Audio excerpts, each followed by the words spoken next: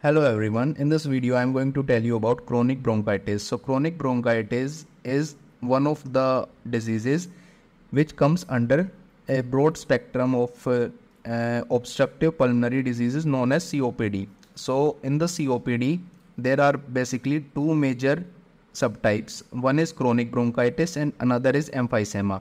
About emphysema we will read in the another video. In this video I am going to tell you about chronic bronchitis. So what is chronic bronchitis? So it can be defined as a long-term inflammation of the bronchi leading to productive cough of more than 3 months that are occurring within a span of 2 years. So this is the basic definition of the chronic bronchitis. The cough in these patients is also known as smoker's cough. So basically the cough uh, which the patient of chronic bronchitis are having is also termed as smoker's cough. So what is the main etiology? First we will go through the main etiology quickly. First, tobacco smoking. Tobacco smoking is the most common cause of chronic bronchitis. Also, long exposure to air pollutants, dust and other irritants which are present in the environment.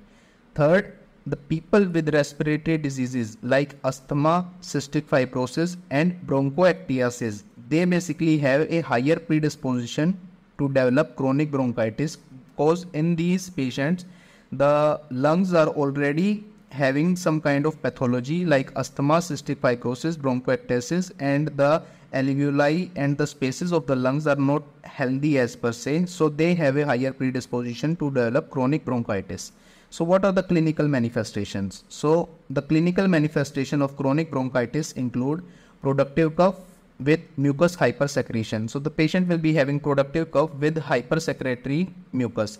Another is shortness of breath. Although shortness of breath is not uh, uh, specific for chronic bronchitis because uh, it is more of a emphysemic disorder.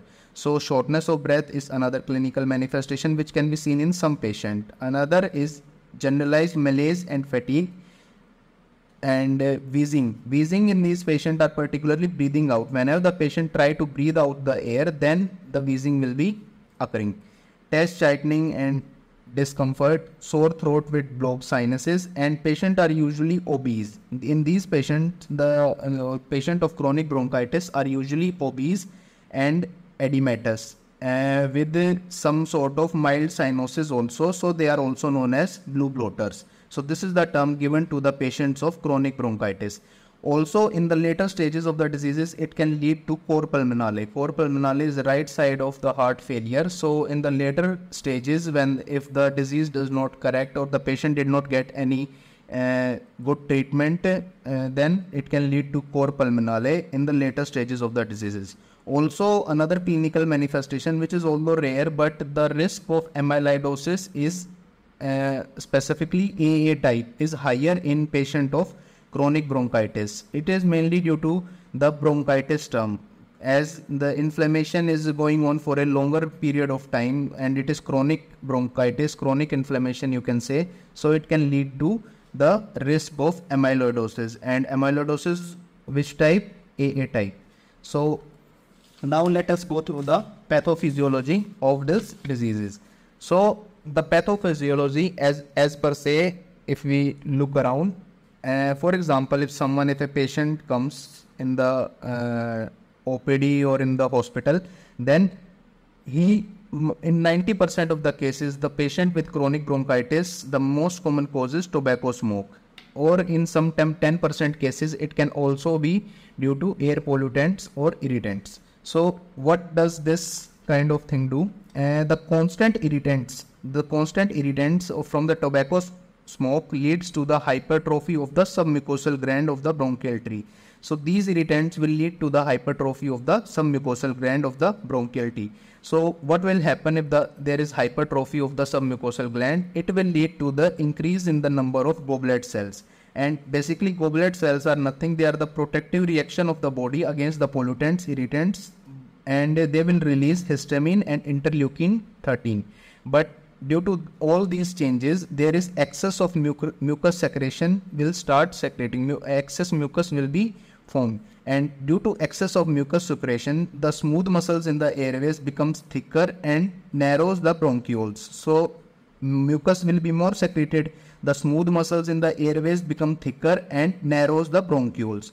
So when the bronchioles are narrowed, the cilia becomes unable to cope with the excessive secretion that will lead to the blocking of airways. So the cilia, which are the protective lining in the epithelium, they uh, whenever the there is hyper mucus secretion, uh, it will lead to the leading uh, to the blocking of the airways also known as reversible airways obstruction so until this point it is the whole process is reversible but as the mucus goes deeper into lungs as the mucus goes deeper into lungs and it became harder to clear and the walls of the bronchioles became inflamed so after a certain period of time if the patient does not get any kind of treatment the mucus will lodge deeper in the lungs and it becomes harder to clear the walls of bronchioles and they will become inflamed.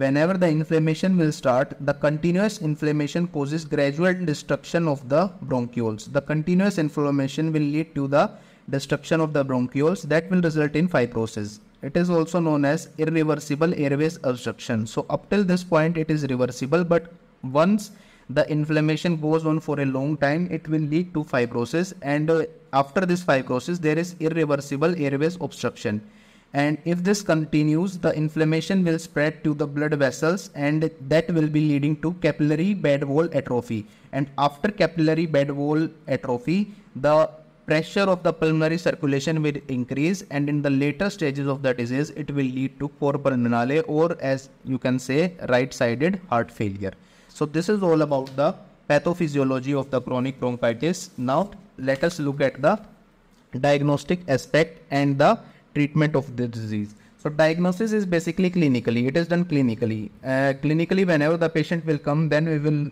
ask him that uh, till up till what period he is having cough. So the productive cough for at least three months for two consecutive years. If the patient is having more than three months of productive cough from the past two years, then it is diagnosed clinically only. And uh, after clinical assumption, you can also go for pulmonary function testing, which is uh, the uh, gold standard is spirometry. And in spirometry, after giving bronchodilators, it is a test which is done. After giving bronchodilators, we will see in the spirometry the FEV1 to FVC ratio. If it is less than 0.7, then it is a confirmatory test for chronic bronchitis and uh, this FEV1 to FVC ratio uh, it will mainly tell us that how much lung or how much bronchioles are functioning in that particular patient. After that, chest x-rays can also be done uh, in which we can see increased bronchovascular markings and cardiomegaly, but it is basically non-specific because uh, these markings and uh, cardiomegaly are only seen in the later stages of the diseases. There is another in important index from examination point of view. It is Reid index. And Reid index is also non-specific and it is usually a post-mortem finding. So not as per se it is a diagnostic criteria, but uh, the patient who dies due to uh, chronic bronchitis or after the post-mortem, we can see what happens uh, in the chronic bronchitis uh, in Reid index according normally Reid index is less than 0.4 लेकिन in chronic bronchitis it is more than 0.5. It is due to the increased submucosal gland. Uh, the number of submucosal gland when they tend to increase, uh, the Reid index will increase. So now we will look at the treatment of the chronic bronchitis. So as per treatment, uh, uh first of all we have to stop smoking. The most common uh, thing that uh, most of the patient will not do, but the most definitive treatment is first of all is stop smoking. Then we can give oxygen therapy to the patient. Third we can also give bronchodilators uh, in which long acting bronchodilators like formoterol and salmeterol are more helpful. And muscarinic antagonists like LAMA and along with LABA long active beta agonist can also be given. So LAMAs are basically as aclidinium and glycopyrrolate and inhaled corticosteroids we can also give. Antibiotics are also given in case of any secondary infection. If the patient is having any kind of secondary infection like pneumonia. And pulmonary rehabilitation is always there uh, for the chronic stages of the patient. If the patient goes or if the patient is having chronic bronchitis from the past 10 15 years. Also mechanical ventilation support is also given to the chronic bronchitis patient so this is a short summary of the chronic bronchitis. I hope you all like it and make sure to like, share and subscribe for more videos. Thank you very much.